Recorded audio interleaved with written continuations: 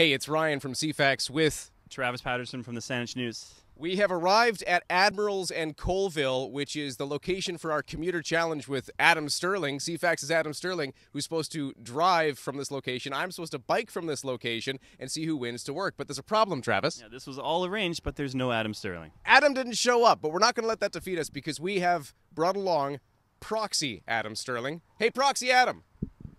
Okay, here, but I'll do it. This is Josh Hylden from CFAX, but today you've got to be Adam, which means can uh, can you talk loud? Yes, yes, I can. Okay, and can you say something disparaging about bike lanes? I, I don't need to waste my morning to prove what was already proven that the bicycle is inferior to the car, but I will.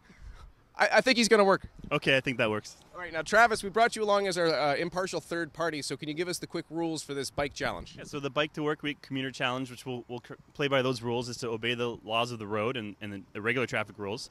And it's the first person. We'll, we'll depart at the same time, and it's the first person who's going to arrive to the door of CFAX, hopefully in a few minutes, is going to win this year's challenge. Okay, well I guess give us the go.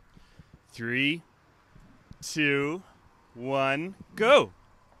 All right, I'm off. Let's do this. Oh, we're just two minutes into the drive to work, and I'm sure I still see Ryan Price way in the background. I'm about five minutes out. I'm getting in the Vic West, and I'm about to leave the bike trail. It's been good so far. Ah, the best part about driving a car is that I don't sweat. But traffic lights and traffic's coming, and I'm kind of tired. Oh, we're just about to arrive, about 12 minutes into our ride. We're just at uh, Johnson and Wharf waiting on the forever red light. Almost there, almost on the Pandora bike lane.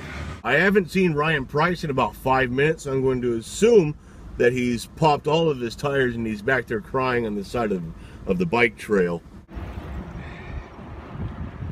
Well, are they here? Did I beat them? Yes! Touch the door! Okay, I gotta go. Okay, seriously, I beat them? That's amazing.